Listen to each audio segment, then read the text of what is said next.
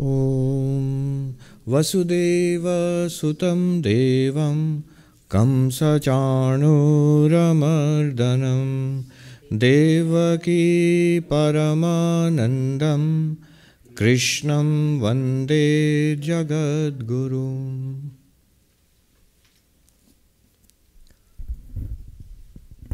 So we have done, we have finished the ninth chapter, and that's halfway through the Bhagavad Gita. And today we're going to start the tenth chapter. The tenth chapter is Vibhuti Yoga, the yoga of glories, yoga of splendor, uh, the glories of God. Somebody looked a little puzzled at, oh, for a moment I thought it's my glories. Now, the glories of God. But yes, in one sense, our own glory also, from an Advaitic sense. All right. Before we start the 10th chapter, just a few words of introduction and then we'll go on. So, take a look at the big picture. One way of understanding the Bhagavad Gita, which I've mentioned earlier, is to see it as um, the Mahavakya, Tattvamasi, that thou art. Madhusudan Saraswati does this, and a number of Advaitic teachers do that. What they do is they divide the 18 chapters into three groups of six chapters each. The first six chapters are um, about our real nature. Who am I? About that thou art, about you. And then the next six chapters from uh, 7 to 12 are about that, God. And then the last six chapters from 13 to 18 are about um, the identity of that and thou, you and God. Very neat. The Gita doesn't really fit into that neat uh, categorization because in each uh, of these uh, groups you will find lots of stuff which don't actually uh, fit into that category. But as a broad classification, there is some truth to it because you'll see, especially in these six chapters, from 7th chapter to the 12th chapter, it is about God. It is about devotion to God. It's mm, uh, heavily tilted towards that. Um, so, uh, in the last few chapters, we have been talking about God, and we were introduced with this concept of God's higher nature and lower nature, para prakriti and apara prakriti. God's higher nature is consciousness, and lower nature is material nature, this entire universe. And that's a neat way of looking at it because our experience it neatly falls into these two categories. I, the conscious knower, and this, the universe which I know. Everything that I know is an object to me, the consciousness, and I am the conscious knower. So, consciousness and material nature. In fact, these are the two great categories in Sankhya philosophy and Yoga philosophy Purusha and Prakriti. Now, where God comes in is this this consciousness, pure consciousness, in association with material nature, with the cosmos, is the God of Vedanta. I'll repeat that. Consciousness in association with the, of the cosmos itself. Everything is the God of Vedanta. Those who remember Mandukya Upanishad, the Mandukya Karika, uh, consciousness plus the power of Maya is called God or Ishvara. Consciousness plus the power of Maya plus all minds, the entire cosmic mind, uh, is called um, Hir- uh, Hiranyagarbha, the cosmic mind. And consciousness plus the power of Maya, plus all minds, the cosmic mind, plus the cosmic body, all bodies, living bodies, and the insentient universe all together. That is called Virat. What Arjuna will experience in the 11th uh, chapter of the Bhagavad Gita. But this Ishvara, Hiranyagarbha, Virat, this is the Vedantic conception of God. Basically, consciousness and material nature awareness and the cosmos. It's a lot like us. The difference is this we are the same consciousness, but with one fraction of the associated with one fraction of that material nature. Not with the cosmic body of the universe, but with one body. And not with the cosmic mind, with one mind. And with a fraction of the power of Maya. In our case, it is called Ajnana, or the causal body. So we have a causal body, a subtle body, and a physical body, but one, and a tiny bit of this huge material nature. The causal body is part of material nature, um, the subtle body is part of material nature, and the physical body is part of material nature. Associated with a slice of that, you become an individual sentient being. Consciousness becomes an individual sentient being, like us. Associated with all of that, consciousness is God. So, this is the Vedantic idea of God. Of course, the core teaching of Advaita Vedanta is beyond that. The fourth, not the uh, waker, dreamer, deep sleeper, but the Turiya, which is consciousness itself. But we are not going there now. We are, we are now sticking with the, with the idea of God, with the teaching about God. So, this is God, and this is the individual sentient being. What's God? Pure consciousness, limitless consciousness, plus Maya, plus cosmic mind, plus cosmic body. What's us? Pure consciousness, the same pure consciousness, but limited through, reflected through one tiny bit of Maya, which, called agya, which is called Ajnana, and one mind and one body. All right, we'll leave it at that. Now, what about the world? This physical world, this material world, of which our material bodies are also a part, and this uh, insentient universe is also a part, you know, planets and stars, uh, quarks and quasars, and all of that, this material universe. That's what he's going to talk about primarily in this chapter. That all of this material universe is the glory of God, is the splendor of God. That's this, what this chapter is about. Where does this come from? God is the creator of this material universe. That is the idea of God in all theistic religions. All religions which believe in God, they think of God as one, one common idea is God is the creator. God made this universe. God made all of us in the sense of the bodies and the minds uh, and the physical universe. And in Hinduism, God is the creator, preserver, and destroyer who projects this universe, who uh, maintains it, and finally dissolves it, only to project it again. Now, and in, a sort of preliminary idea is God is separate and the creation is separate.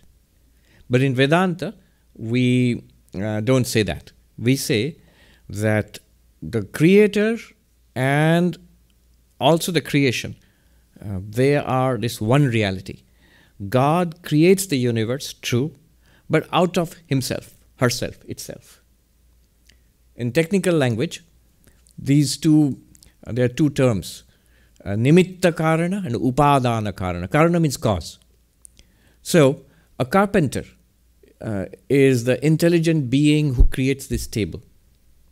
The, so, the carpenter is the intelligent cause, nimitta karana. And the table is made out of wood and the wood is the material cause. In this case, the carpenter and the wood are different. The material cause and intelligent cause are different. The carpenter doesn't become the table, luckily, for the carpenter and for all of us also. But there are cases in which the intelligent cause and the material cause are the same. Uh, the spider spins a web out of its own body. So, spider, the sentient being, the creature, the tiny little creature, uh, is the intelligent cause because it spins the web. But its own body is the material cause. It's the material out of which the web is spun. That's why the spider is used as an example in Vedanta, in the Mundakopanishad. Yathornanavi srijate grinhate cha. Just as a spider spins a web out of its own body and absorbs it back, that's the example. Tathaksharat sambhavati vishvam. In that same way, from the akshara, the imperishable reality, that is pure consciousness or Brahman, uh, the entire universe is spun out. Now, notice in this case, just as the spider is the intelligent cause and the material cause of the web, in Vedanta, God is the intelligent cause and the material cause of this universe. And one interesting thing is the material cause continues in the effect. The, if the material is wood, then you will find wood here. The effect is the table. Table is the product, and the uh, material is wood. In the product, the material will continue. Don't we say touch wood? We don't say touch table, touch wood, because this is the same material. Uh, clay pot. The clay is the material out of which the pot has been made. And when you have the pot, after it's been made, the clay is right there. Similarly, if God is the material out of which this universe is made, then what is all this? There must be God here. God must be immanent in this universe, not only beyond this universe, but also the creator of this universe and in and through this universe. Immanent in the universe. That's why Swami Vivekananda said, We Hindus worship a transcendent, immanent God. God who's beyond time, space, and causation, but also in and through time, space, and causation, and in this entire material universe. It's present here. Now, this is the basis for this chapter. This is the basis for this chapter, the tenth chapter. Um, how is this world to be seen in Vedanta? This world, this world we are living in, uh, what is it to us when we are spiritual seekers in Vedanta? Three things, and this I am uh, I am quoting from um, traditional Vedanta scholar and uh, monk from Benares, Pranav Chaitanya Puri. So uh, he is a senior monk and he's been traditionally studying Vedanta and teaching Vedanta for a long time, um, for decades and decades. And, uh, it's also funny how he got in touch with me. He teaches, uh, and then one of his students, so they are traditional brahmachari students sitting in the class and learning from this monk, but now even traditional students are online. So at one point, one of the students said, Master, you are saying this, but Sarvapriyananda did not say this. And he was, Who's this? Sarvapriyananda. Where, where? And they said, There is this, you know, on internet and uh, on YouTube, there are these talks, and uh, he taught the same text which you are teaching, but he said it this way. So I had this annoyed senior traditional monk calling me from India, from the holy city of Benares. Swami, this won't do. You said it like this, and you're confusing the students here. there was a point in which, but then we hit it off very well. And so we, once in a while, he calls and we talk for a while. So wonderful insights he gives. What is this world in Vedanta? He says three things Heya, Divya, Brahma. Heya, to be discarded, to be given up, to be dismissed. Heya, one. Second, Divya, divine. Third, Brahman, the ultimate reality. These are the three views of the world in the Bhagavad Gita. With quotations from the different um, chapters, he proves this. First, most important, you have to start there. Heya, why this world has to be given up? Why is it to be dismissed? Why do we have to renounce? Because of three reasons, again, he says. Um, again from the Bhagavad Gita. Because anitya, asukha, mithya. Because this world is, is transient, continuously changing. And then Krishna himself says this Anityam asukham lokam prapya imam bhajasvamam, having attained to this transient, um, ever changing world of sorrow, worship me, worship God. So it's, it is ever changing. Not only is it ever changing, because it's ever changing, it gives rise to sorrow. It's not obvious actually. I mean, why should change give rise to sorrow? Why is it that we think something unchanging is good? I mean, like a cookie. Who wants an eternal cookie? It's true that the cookie, if you eat it, it lasts for a few seconds. But that's all right, that's good. You wouldn't want a cookie which lasted a million years. so, why is change and temp- temp- temporality and change, why is it bad? This was the great insight of the, of the Buddha, because he saw that uh, to be happy, we need a lot of things to go well. Yeah? um, I must be rich, and I must my stock portfolio must show this kind of you know Wall Street. the indexes must be at this level. Uh, people must like me. My Facebook likes must be at that level. My health must be like this. All of this should go well. Then only I'm happy. If one of these parameters goes a little off, you know, one little pinprick, everything else is good with the body. One little pin, pinprick, and I'm upset. Now, if you do that, that's one side of it. All of these parameters have to be optimum for me to be happy. And now imagine all these parameters are continuously changing. In that case, you have to put in a lot of effort to, and you have to be really lucky for you for all these parameters to come to a state where you are. It's all very nice for you. But what will happen the next moment? Changing. So next moment, suboptimal again. In that case, most of the time we are bound to be unhappy. We are bound to be unhappy. The Buddha's insight change uh, along with grasping a certain state, wanting a certain state, trying to achieve that and hold on to that. And in a world of continuous change, it's a formula for unhappiness. Desire in a world of continuous change, formula for unhappiness, grasping. That was his great insight. You know? Dukkham, dukkham, sarvam, dukkham, all is sorrow. Why? Anityam, anityam, sarvam, anityam. Impermanent, impermanent, all is impermanent. impermanent. Not only impermanent, kshanikam, kshanikam, sarvam, kshanikam. Momentary, momentary, all is momentary. Not only momentary, shunyam, shunyam, sarvam, shunyam. The void, void, all is void. And therefore, because it is transient, because it is momentary, and because it is empty, dukkham, dukkham, sarvam, dukkham. It is uh, all uh, productive of sorrow.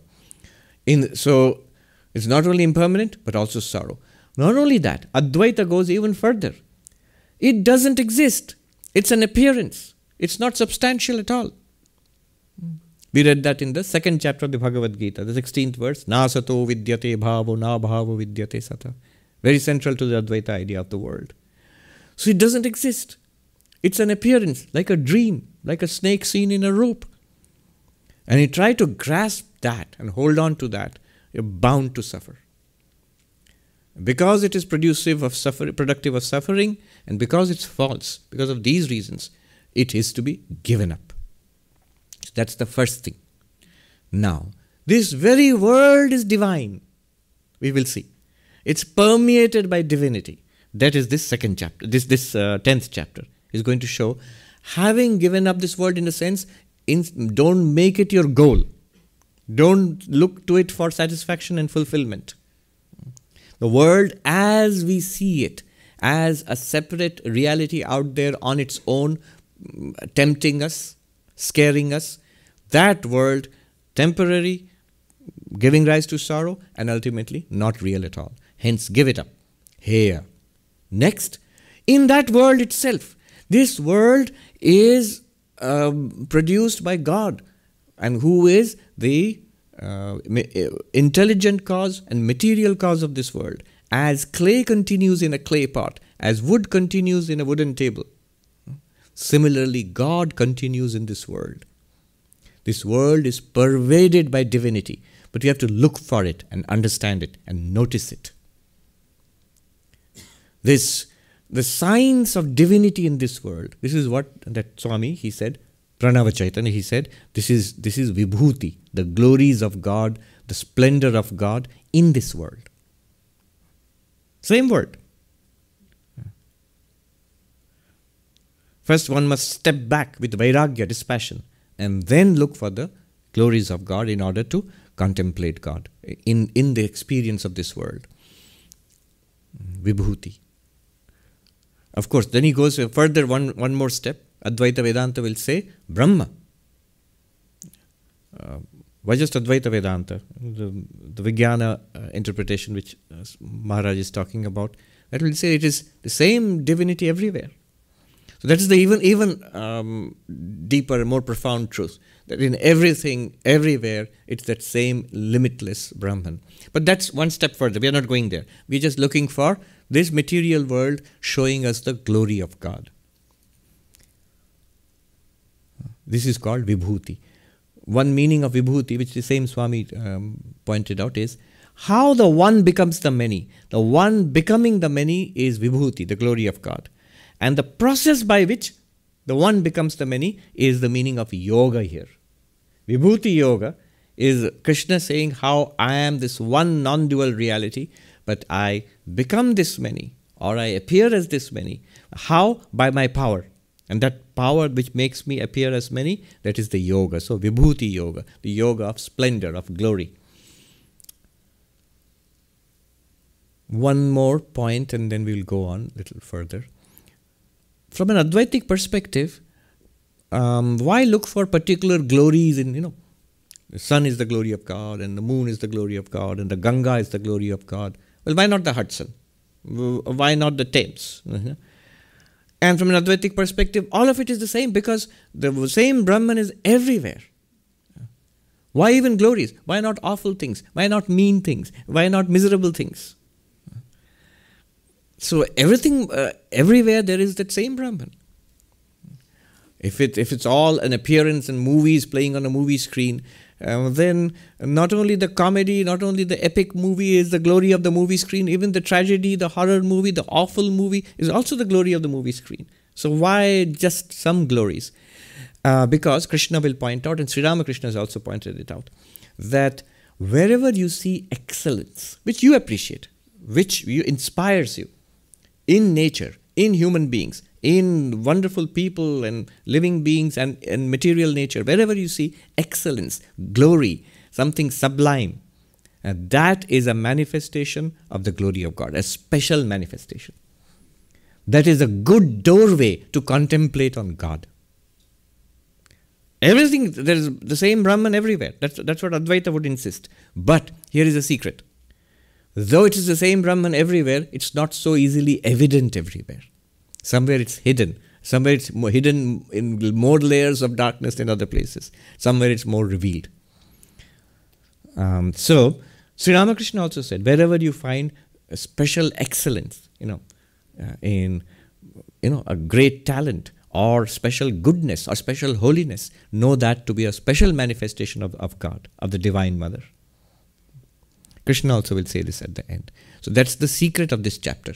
Yes, God is everywhere, but God is not so easily available for contemplation. It's not so easy to contemplate God in an evil person, in a petty person. It's easy to contemplate, easier, much easier to contemplate God in a noble soul, in a saintly person. So, now the glories of God. Uh, Immanuel Kant, Swamiji is a Kant scholar, he famously said that. Uh, two things fill me with wonder. One is the starry heavens above, and the other is the conscience within us human beings, the human conscience within. So, this cosmos and uh, what we are within, this conscious being. Especially, he, he said uh, the uh, human conscience, actually. The moral sense, I think he meant that. The moral law within. The moral law within and the uh, starry heaven, the cosmos above.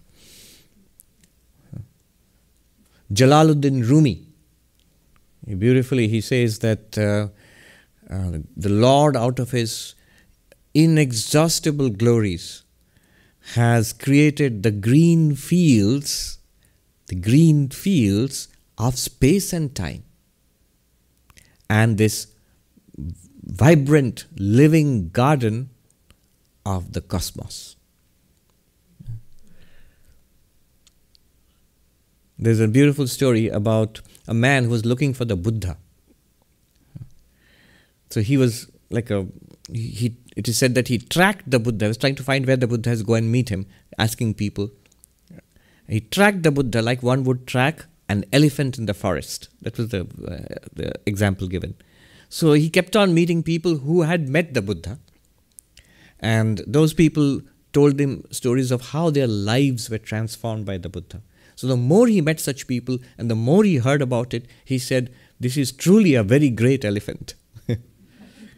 he, the science, you know, the, the science, this amazing science of all these stories of people whose lives have been tra- transformed for the better just by a meeting with the Buddha. So these glories of God, um, uh, the commentary I am using, Sridhar Swami's commentary, there um, he actually starts each chapter with a verse which tells us what this chapter contains. So this verse, this is not part of the Gita. This is part of Sridhar Swami's commentary. So there he says in the beginning of the tenth chapter, Ukta Sankshepata Purvam Saptamado Vibhutaya. Briefly, the glories of God have been touched upon from the seventh chapter onwards. See, the same thing, he's, uh, he's following the same scheme. 7, 8, 9. These are part of the uh, six chapters on God. So the glories of God have been briefly touched upon in the three chapters earlier. Seven, he says seven, etc. Seven, eight, nine. Dashame ta vitanyante. In this tenth chapter, they will be talked about in detail. Why? Why? He says this is the purpose of the tenth chapter. Sarvatra Ishwara Drishtaye. So that you can see God everywhere. Our complaint about God is where is God? God is hidden. Show me God. And here, God will be shown to you. Krishna will tell you where to look for God or the signs of God, like the great elephant. You won't actually see God in any of these things in the chapter, but they're signs of God. Because remember, uh, the one intelligent material cause in Sanskrit, abhinna nimitta upadana karana. So the material cause is in the creation. So these are signs of God, and this is actually the presence of God also, implicitly, as the material cause of this universe. So Krishna is going to mention that, so that we can see God everywhere. From our complaint, I don't see God anywhere. Now Krishna is going to say, after this 10th chapter, you can't complain anymore. You see God everywhere. Swami Ashokanandaji, uh, he says in one of his lectures, he was the minister of the Vedanta Society in Northern California for many, many decades. In the, um, 30s, 40s, 50s, 60s. Um, so he says that where will I see God? Foolish question. Where will you not see God? After this chapter. All right, before we start the chapter, just one little, um, like a little flag. I want to uh, say something. Now, when you see all this, the glories of God we'll talk about, there is a temptation that this is such an amazing thing, you know, life, um, the magnificence of this cosmos. So, by this, can we not prove that God exists? If these are signs of God, if these are the glories of God, then these are proofs that God exists. And theologians in different religions have tried to use this in order to prove the existence of God. There was particularly one uh, British theologian in the 18th century, William Paley. So, what he said uh, is that the glories of God, this is the way to prove that God exists. What is the proof that God exists? Well, look at the extraordinary design in this universe. And he gave what is called the watchmaker analogy. That, you know, in those days, the latest technology, imagine late uh, 18th century, was a watch, not watches like this, pocket watch. And he says, suppose you're going along and in you know in the field in nature you find a rock. What would you say? Eh, rock. It's been there. It's very natural for a rock to be there. But if you're walking along and in the field you find a watch, what will you say? You won't say, "Oh, watch." It's usually found on fields and in garden, in nature. No, it isn't. Somebody made it. It's made by human hand, and it's it's somebody's watch. It's it's clearly artificial. Why did you do that with the watch? Even a person who does not know what a watch is.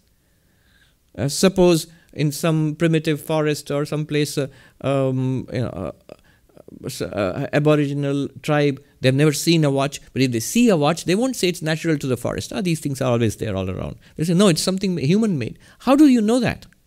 Why do you know it's artificial? So William Paley says that it's because of the extraordinary design of that, clearly made to fulfill some purpose. So it's been designed by some intelligence to fulfill some purpose. If you know what a watch is, it's meant to tell time. But even if you don't know it, it shows some kind of design meant to fulfill a purpose. Now, he says, look at the human body, the human hand. Look at the extraordinary, um, you know, life forms. Clearly, there is tremendous design in them. And such a design, much more complicated than the watch. Human beings cannot do that. So, a great intelligence must be behind this. So, from the signs of extraordinary design in nature, found throughout nature, especially in life, but also in the cosmos, you know, you know, the planets, they were beginning to discover how the planets go around in orbits and all that. So natural laws are being followed. So the conclusion is that there must be some great intelligence and power behind this very clearly designed universe. And such an intelligence and power can only be God. It's great intelligence, great power. So this is the proof of God from intelligent design. You know what happened to that. Why I'm saying this is not a good idea is because I mean the classic answer is Richard Dawkins wrote a book, The Blind Watchmaker. He says you don't need intelligence. You don't need a God. Just the forces of nature by themselves, Darwinian evolution, can do the job. They can produce um, things which are extraordinarily adapted to survival in, in nature and environment. So that argument fails. If you base your God on that argument, along comes Darwin. Uh, to Paley's credit, I think he was before Darwin. So, but along comes Darwin and says that not necessary. Uh, you don't need uh, an extraordinary intelligence to produce such amazing design. Just the blind forces of nature, um, natural selection, genetic mutation can result in all of this.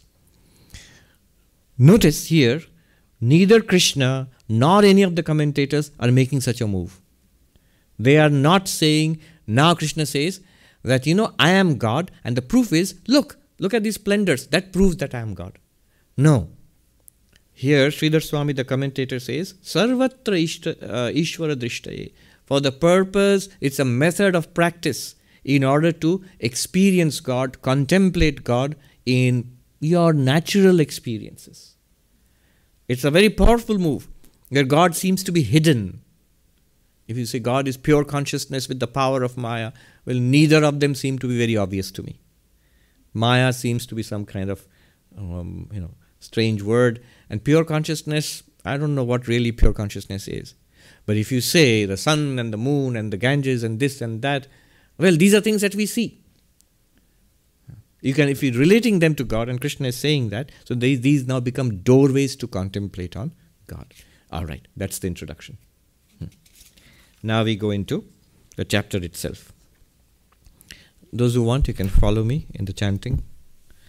Shri Bhagavan Shri Bhagavan Bhuya eva mahabaho Bhuya eva mahabaho शृणु मे परमं वचः शृणु मे परमं वचः यत्तेऽहं प्रियमाणाय यत्तेऽहं प्रियमाणाय वक्ष्यामि हितकाम्यया वक्ष्यामि हितकाम्यया The blessed Lord said, Hear again, O mighty armed one, my supreme word, which I, wishing your welfare, shall tell you who take delight in it. So this chapter starts without a question. I think Arjuna might be thinking, okay, I won't ask a question, he'll stop now. No such luck. Krishna is going to repeat. Bhuya eva, again. Listen to me again. Why again? You know, in traditionally in philosophy, repetition is seen as a fault.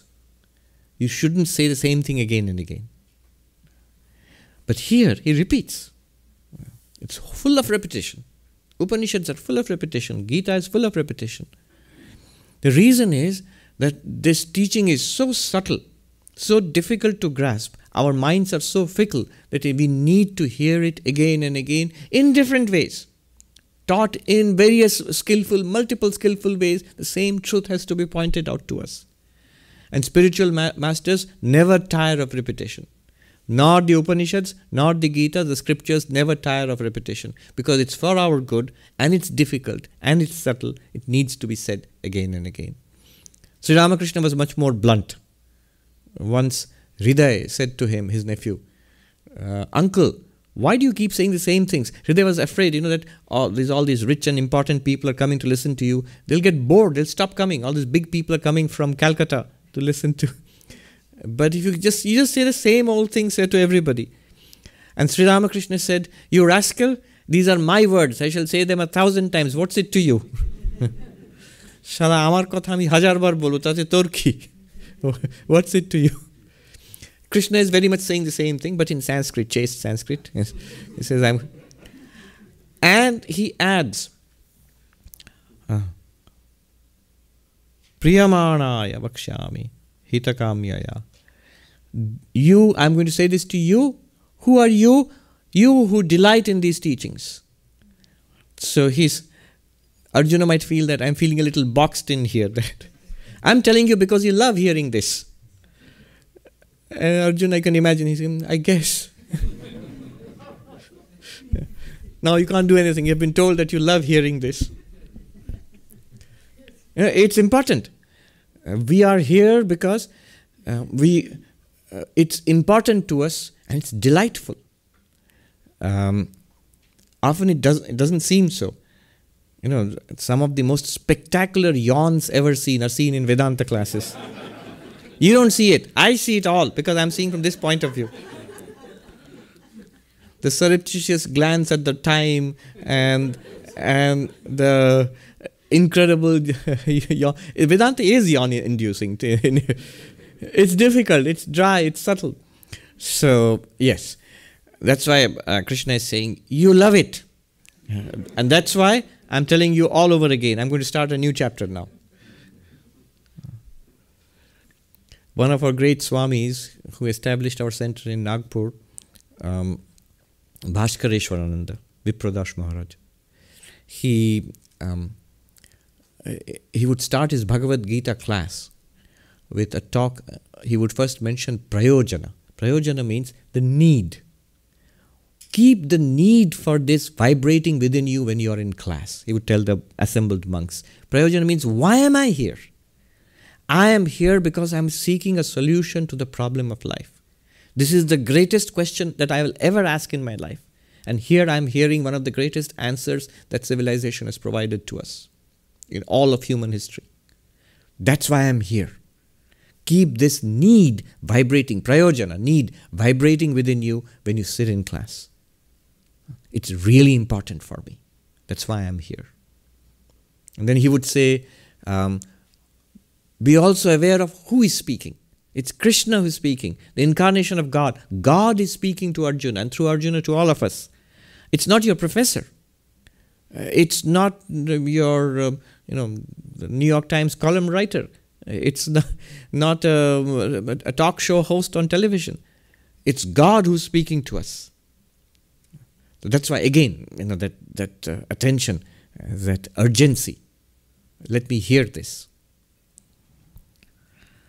Sridhar Swami makes some comments here. He says, What are these words? I'll repeat to you. He calls it, very interesting, he calls it Vachanamrita. This is literally the Kathamrita, which we study on, on Tuesdays, the nectar like words. He says, Madvachanamrita, my nectar like words. Krishna says. Why are they nectar like? Paramam, paramarthanishtam. They're transcendent because they point you towards the highest reality. Paramarthanishtam, your highest goal. What is your highest goal? Enlightenment and freedom. Moksha, nirvana, salvation, mukti. That's what these words are about. And therefore they are uh, nectar like. That's why M, when he wrote down the conversations of Sri Ramakrishna, he called that book Kathamrita. The Hindi translation, in fact, is called Vachanamrita. Vachanamrita, the Hindi translation. Exactly the words he, um, Sridhar Swami uses here. Also, one more thing. Often in the Gita, Krishna addresses Arjuna as Mahabaho, one of mighty arms, because he's a warrior what I mean, what do they call it? Six packs, abs or something. So probably he had six pack abs or something, but mighty arms. But here, uh, Sridhar Swami gives an explanation of that. What is mighty arms? He gives two explanations. One, he says, the power to do one's duty. You are capable of doing your duty, which is very precise because that's what he did. Arjuna didn't want to do. The whole Gita is about that. That's one explanation. And second one is even more inspiring. The power to serve, to greatly to serve. Um, Mahantau Yuddhadi Swadharma Anushtane. Great in, your arms are great in performing your duty like this battle in front of you. I was reminded when I read this of Vivekananda. He says, about duty, he says, there is the way to grow is to do the duty just in front of us. This one in, uh, interpretation. And the next one he says, even more inspiring. Mahat paricharyayam kushalo. The, the hands which are expert in, dexterous in, engaged in, uh, in great service. It can mean the service of the great, when you serve the guru or the wise one. But it could also mean, Sanskrit is great that way. Uh, it, it could also mean great service. And now you see Vivekananda or all the great ones who are engaged in the service of humanity. They are Mahabaho of mighty arms because they're engaged in great service. Yeah. And why do I say this? Hitakamyaya, hitechaya, because I'm engaged in your welfare. I desire your welfare. That's why I'm saying this. I have no other motive. This is not a crash course in Vedanta. You know, you pay $100 or $1,000 and, and I deliver 18 lectures to you. No, no, no. I am not getting anything out of it from, from you. Sri Ramakrishna says about those, those young boys who became the monks later on. He says, Why do I love these boys? They don't even have a paisa. So many big people, rich people come from Calcutta. These boys don't even have um, um, paisa to give me, one cent to give me, or a torn mat which they can offer me for, for to sit upon. But why do I love them so much? Because they love God, they want to attain God. And Krishna says, For your welfare, because you want to attain God, that's why I'm telling you. Number two, verse number two. न मे विदु सुरगणा न मे विदु सुरगणा प्रभवं न महर्षय प्रभवं न महर्षय Aham Adirhi Devanam Aham Adirhi Devanam Maharshinam Cha Sarvashah Maharshinam Cha Sarvashah Neither the gods nor the great sages know my birth, for I am the cause of the gods and the great sages in all respects.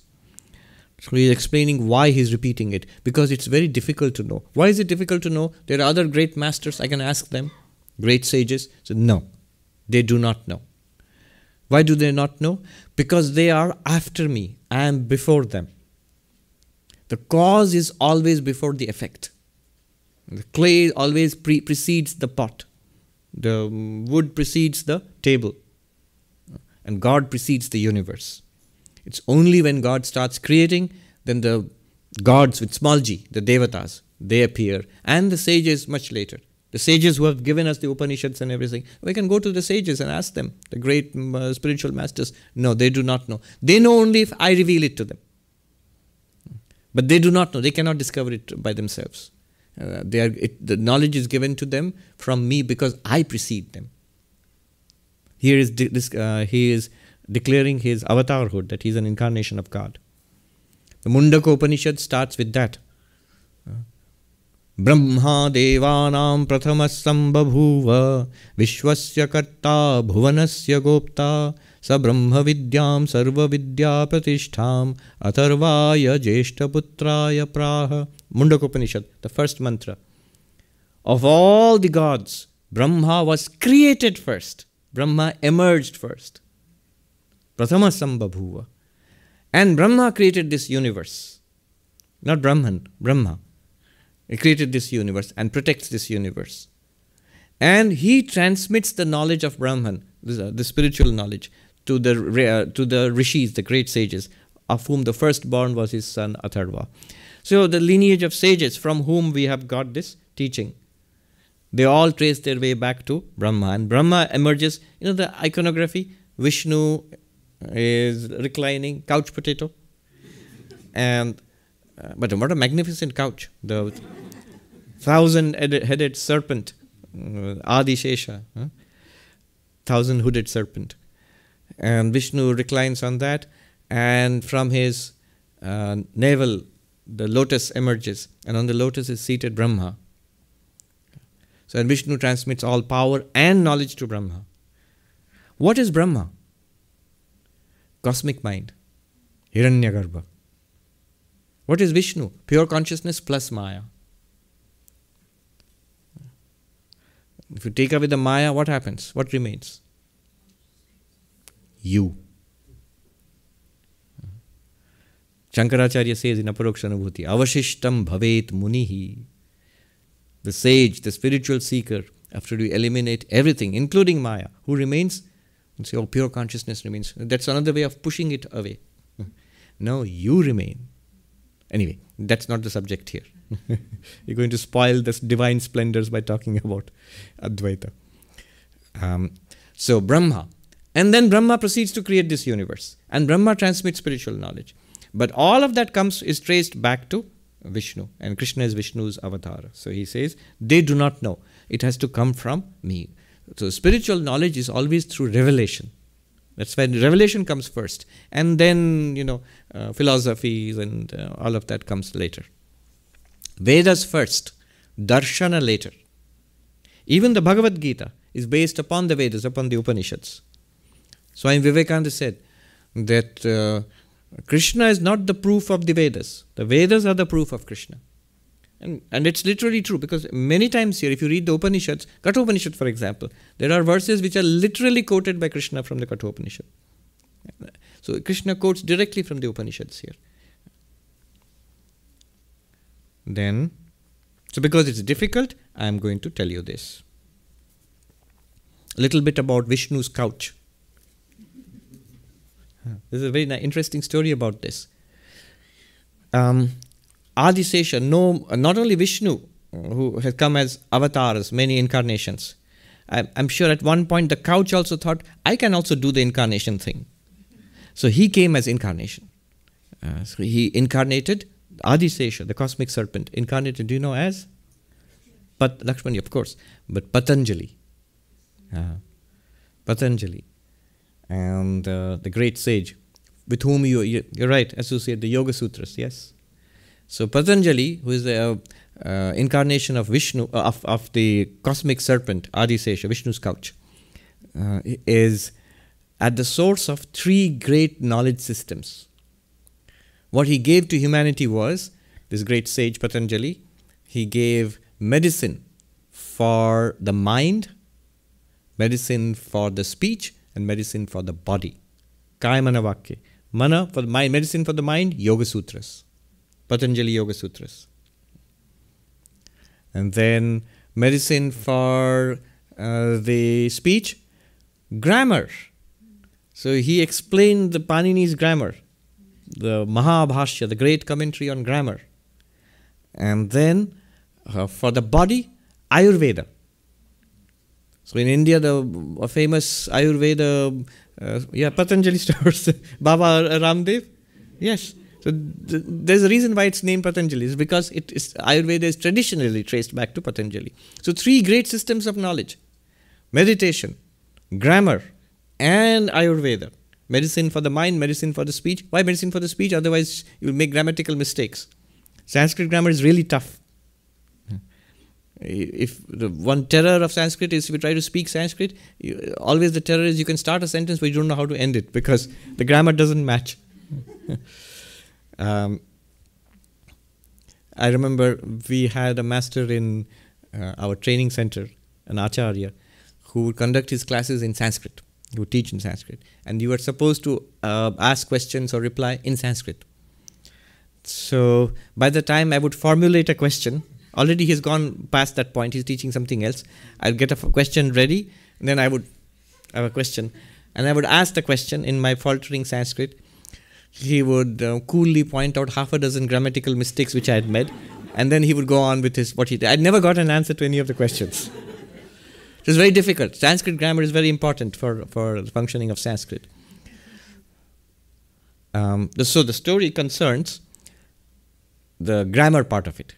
So Patanjali was, uh, this is Panini Sutras are the source of Sanskrit grammar, and Patanjali wrote a great commentary on that. So without the commentary, it's difficult to understand the sutras of grammar. If you think the Brahma Sutras, Yoga Sutras are difficult, you should go to the Panini Sutras. Much vaster, much more complex, and extraordinary. So the story goes. It's a long story. All of these stories are long. So uh, the great sage Patanjali was teaching grammar, and uh, he had a thousand students.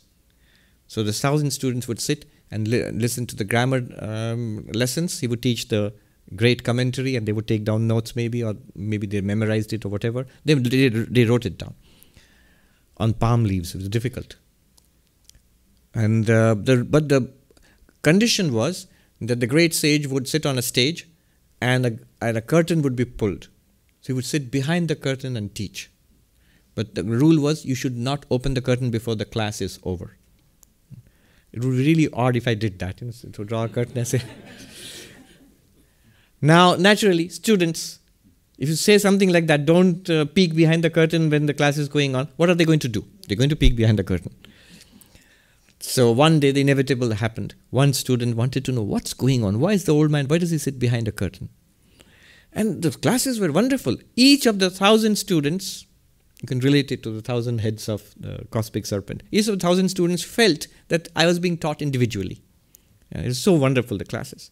So this student, he creeps up to the uh, curtain while the class is going on and he lifts a corner of the curtain behind and lo and behold what does he see not the stage anymore he sees the cosmos the universe and covering the entire universe is this extraordinary being radiant a thousand headed serpent with the flames of cosmic fire coming issuing from each of its uh, mouths and he, of course, immediately faints upon seeing that. And unfortunately, one spark of that fire slipped out from the corner of the curtain before he could drop it. And immediately the students were all turned into ashes. They burnt into ashes, and it all, whole place disappeared in fire. And Patanjali resumed his human form. He swept the curtain aside and he jumped in, out of the stage and he looked at the disaster and he cried out, Alas, alas. In Sanskrit, ha ha kar, which is the opposite of the English ha ha. The English ha ha means you're laughing. Ha ha kar means alas, alas. He was not um, sad about the students. He was worried about grammar. Because what will happen to the grammar if all the students are dead? And then one student was alive. He had taken a washroom break. That's my theory. But he was alive for some reason. He came back in. And uh, Patanjali, he ran and embraced the student. Thank God for you, my boy. And so this student got the uh, grammar, and he's the one who is the source of all the grammar. The story doesn't end here.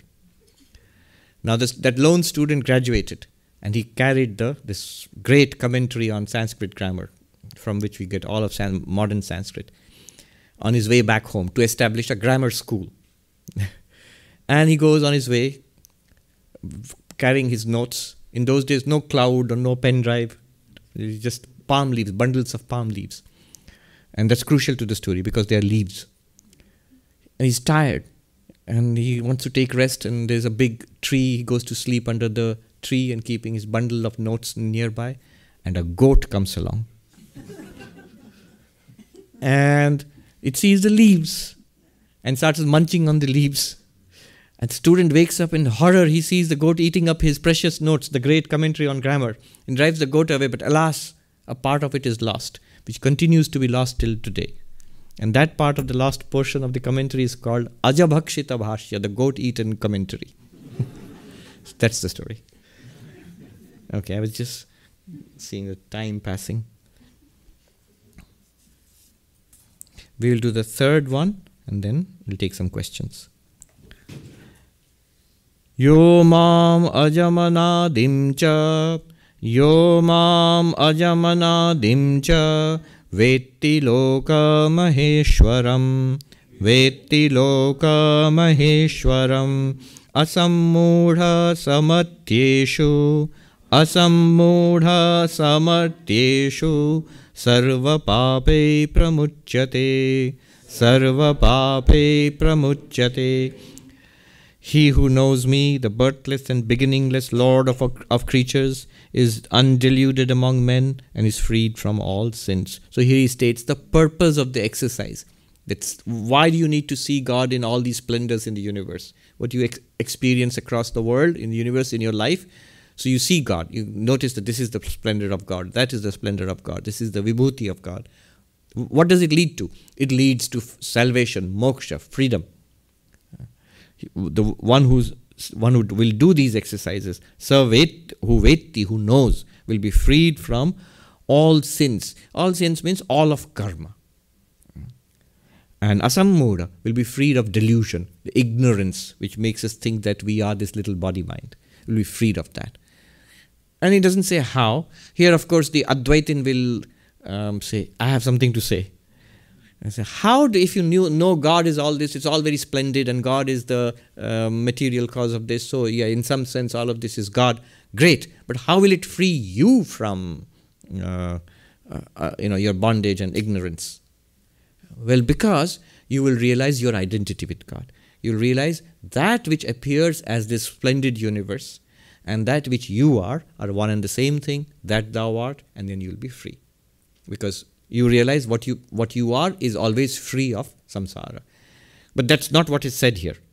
What is said here is contemplate the glories of god you will develop faith in god. You will develop uh, bhakti devotion for god.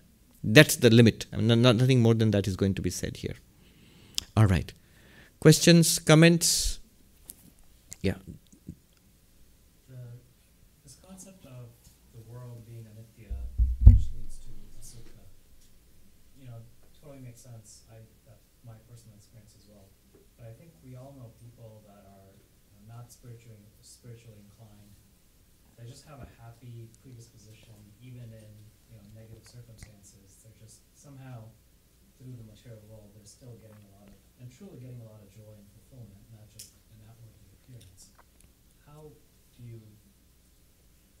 Give it time.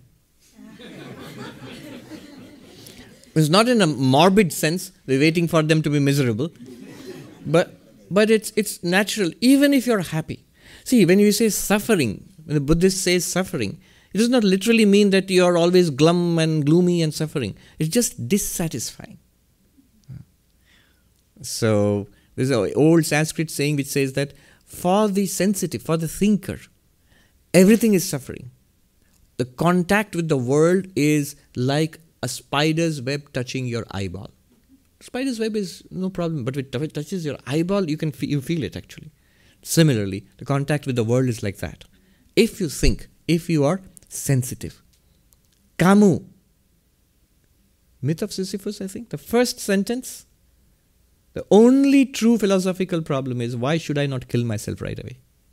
Why should I not commit suicide? I once quoted this to a Mataji of our order, and she said something in in, in French, and I said, no, no, no. The, the first sentence is the. Uh, uh, but the only true philosophical problem is why should I not commit suicide? I said, yes, that's exactly what I was saying. I was quoting the original French. So, Brajaprana Mataji. Yeah. So, uh, it will come to that. Even the most happy person, notice two things. One is that this happy person, generally happy, there are many such people. It's not that really they're deriving happiness from the, from the world itself.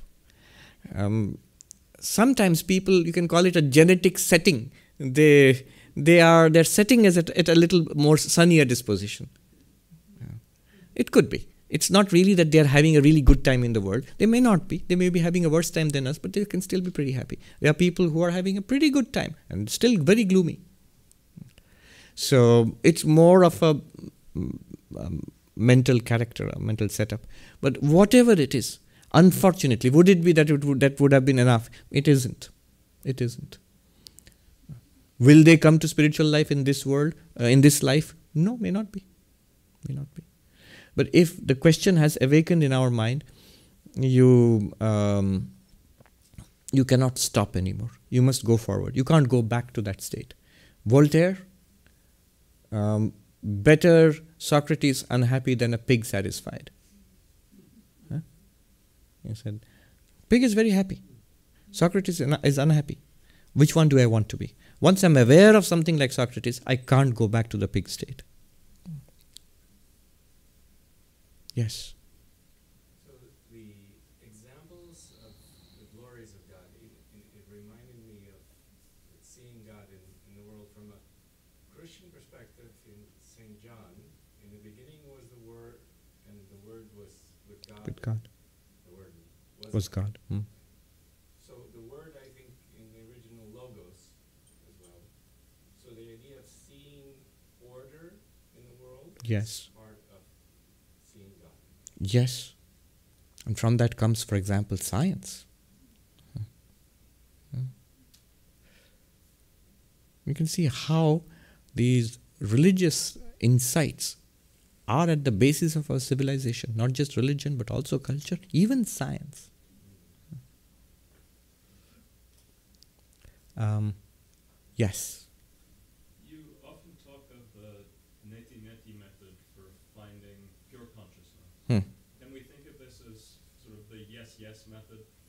Mm. Yes. For finding Ishvara, yes. Because the material cause continues in the product, uh, which is just a dry way of saying, you know, that uh, God continues in this universe. That's a much nicer way of saying it, more inspiring. So, in that case, you affirm that here is God, here is God, here is God. I see God everywhere with open eyes. I met this monk um, in the uh, Himalayas. He lived for 60 or 70 years high up in the Himalayas. Um, his name was Sundarananda. He was um, a sevak, an attendant for a very great Vedanta teacher, whose name was Tapovan Swami, who was the guru of Swami Chinmayananda, Swami Chinmayananda who started the Chinmaya mission. So, this Sundarananda, uh, he told me a very wonderful story about his life. He was uneducated, literally. I mean, he had just he hadn't finished school. He was not illiterate, but he hadn't finished school. But he wanted to become enlightened. So in India, it's a bit like here people run away to uh, Hollywood to become a film star. So in India, people would run away to the Himalayas to become enlightened, something like that. Of course, they also run away to Bollywood to become a, film star. Um, so he ran away to the Himalayas, and he had a very long story of his adventures as a he was a kid. Finally, he reaches, he asks around, who is this, who's the best enlightened Vedanta master now? So people said, that's Swami. So he reaches this Swami, and this Swami um, lives at an altitude of 10,000 feet in Gangotri. Very difficult to reach in those days. He walks, walks, walks, and reaches that place. And then he's turned down because the Swami teaches only the highest non dual Vedanta. He says, if you don't know Sanskrit, you can't learn. And you're not educated, you won't understand what I'm saying. And he has only a small core group of Um, uh, disciples. So Sundarananda said, I like you and I like this and I love listening to it, though I don't understand. I'll just stay here. Just let me stay here. I'll look after all of you. I'll clean the place. I'll warm the food which you beg and bring, and I'll serve it to you, and I'll take care of the place, take care of all of you. Just let me sit, sit near you and take care of you and let me listen to you. And that's what he did for decades and decades. And he became this saint. But he told me his guru told him instruction because you can't study the Gita, the Upanishads. I mean, you listen, but you might not really understand it in depth. So, your special practice, he says, with his sweep of his arms, and I was in that spot where the guru told him this. You see the towering mountains and the glaciers running down, and the Ganga, which is just is Bhagirathi there, just beginning. It's a narrow, very fast stream. It's just melted from the snows and the forests, the pine forests, there are forests all around. Spectacular scenery. So, with his sweep of his arm, his guru told him, Pashya devasya kavyam yona jiryati namamara. This is from the Rig Veda. Look upon the poetry of God, which neither decays nor dies. And then he said, in special instruction to him, from now on, you see God. And he quoted from Kabir Das. खुले नयन देखो sahab ko. I see my Lord with open eyes. How will I see my Lord with open eyes? He says, You see the Lord in the Himalayas and the Ganga. That was his instruction. The special meditation he gave to this Swami. And from that time onwards, his whole lifetime was dedicated. In fact, towards the end of his life, he became an environmental activist for protecting Ganga from pollution. Anyway, So his special meditation was on the Himalayas and Gangas. In fact, if you look up in Amazon, there is a book called The Himalaya, Swami Sundarananda. He became a photographer later on. Photographer means not a professional photographer. He used to take, I mean, he knew the pathways so well, the Himalayan pathways so well. He told me all this because he wandered with his guru in those mountain regions. So he knew the pathways. So later on, after the independence of India, when European and American trekking teams, mountaineering teams started coming to the Himalayas, he became a much sought after guide in those days. But now it's, of course, very well mapped and there are uh, tours and all that. But in initial days. So he would go with them and he would take them up. And he told me some wonderful stories about, you know, how he they would be busy in setting up camp and planting a flag and taking photographs, and he would chant the uh, Shiva Tandava Stotra and all that, you know. So wonderful. Um, but what happened was he saw somebody taking photographs in those days with big cameras and zoom lenses and all. And that uh, was probably a Swiss or Austrian somebody, uh, mountaineer. When he saw this monk's interest, he taught him how photography, photography works and he gave him his camera and his reels and his equipment. Now, this Sundarananda had is a very, very, very well named. Sundara means the beautiful, the aesthetic he had a tremendous artistic sense. I mean, even at the old age when I met him, extraordinary. The little hut which he had was the most beautiful hut in the entire mountain. Extraordinary. I mean, just the artistic touch of that. It's a museum now. And this old man, for 50 years, he maintained it with his own hand. Um, so he started taking photographs, black and white photographs. But they were so good, then some, something led to something else. His guru had passed by that time. And when his guru passed, his guru told him that uh, you have served me uh, dedicatedly for all you, for all these years. I bless you. You will rise very high in secular life and spiritual life. So, at least the secular part of it, he became a famous photographer. Because then something led to something else. Somebody discovered his photographs. They were published in the most important uh, um, magazine in India in those days. Those were India of a certain generation. They recall Illustrated Weekly of India. So his photographs were published there. Then he was called for tours across India, slideshows of his photographs, and all photographs are of the Ganga and the Himalayas, all of them. So that's a special focus of meditation. And later, uh, I think an Austrian explorer came there and he saw those photographs and he took them all and he published them from, and it's a very beautiful coffee table book which he showed me they, that uh, they gave him one copy, which he cannot read. And I asked him, This vision you had in Vashishta Guha, uh, how did that happen? And he was startled. He said, How did you know? Who told you? I said, It's there in the book. and he burst out laughing. He said, Oh, ye sab diya. Oh, you put it all down there in the book. anyway, all of this is to say the splendors of God the Himalaya, in the Ganga. It's the poetry of God which neither decays nor dies. That's a beautiful way of looking at it. And Kabir Das, with open eyes do I do I behold my Lord. Kule nayan dekhu sahab ko. All right, on that beautiful note, let's end today. Om Shanti Shanti Shanti Hari Om Tat Sat श्रीरामकृष्णार्पणमस्तु